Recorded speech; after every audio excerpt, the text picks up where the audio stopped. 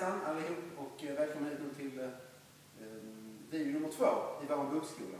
Och eh, då är det så att vi kommer att jobba vidare, jag och ni nu, med från video nummer ett. Och nu blir det alltså steg, turerna nummer fem och sex som vi kommer att visa nu. Det är jag som agerar förare och ni som agerar följare. Yes, och då tar vi den här uppfattningen under och grundstegen kan vi repetera en gång till. Så här. En, två, tre, fyra, fem, sex, sju, åtta.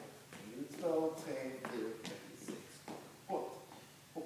Och släppet som vi kallar det, här så släpper man högerhanden och så drar man en rätt så rejäl rörelse neråt höger här. Så snurrar man runt och möts här igen på en ny takt.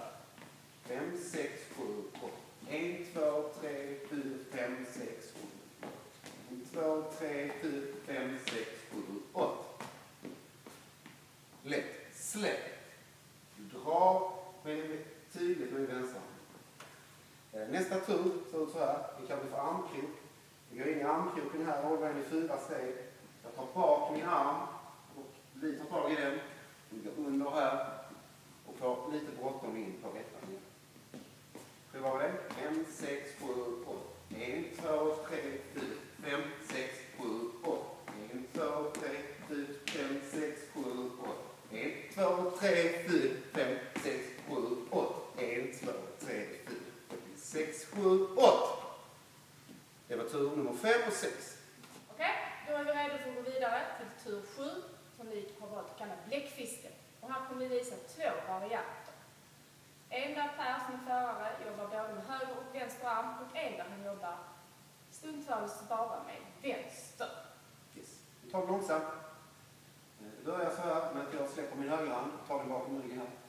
Då använder denna fattningen här i ryggen jag vidare, och tar in nya. Sen tar jag in mig själv och sen tar jag in det igen och sedan så släpper jag ut henne på detta platsen. Alltså. Vi kan prova här nu med exakt. 1, 2, 3, 5, 6, 7, 8. 1, 2, 3, 4, 5, 6, 7, 8. Nu var det en till. 5, 6, 7, 8. 1, 2, 3, 4, 5, 6.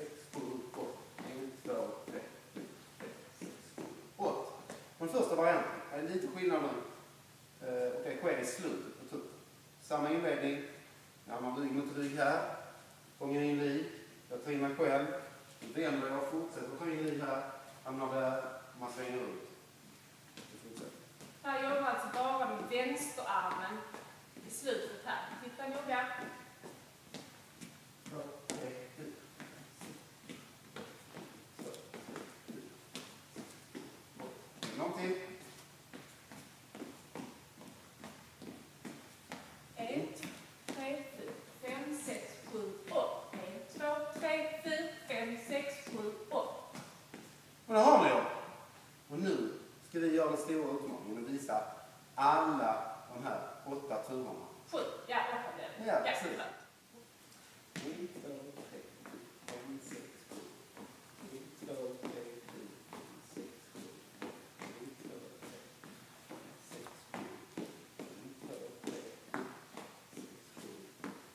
En, två, tre, fem, sex, sju. En, två, tre, sex, sju, åtta. En, två, tre, fyra, fem, sex, sju, åtta. två, tre, fyra, fem, sex, sju, åtta.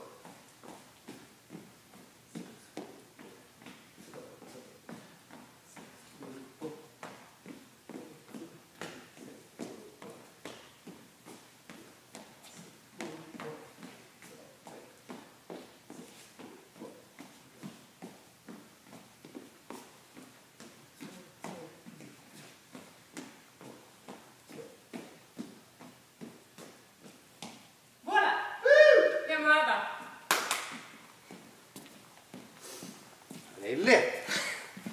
Det